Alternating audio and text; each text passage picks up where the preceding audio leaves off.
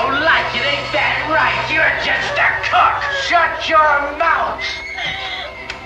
You don't understand nothing. I understand you ain't nothing. Me and him do all the work. I, I just can't take no pleasure in killing. There's just some things you gotta do. Don't mean you have to like it. Oh, please. Please.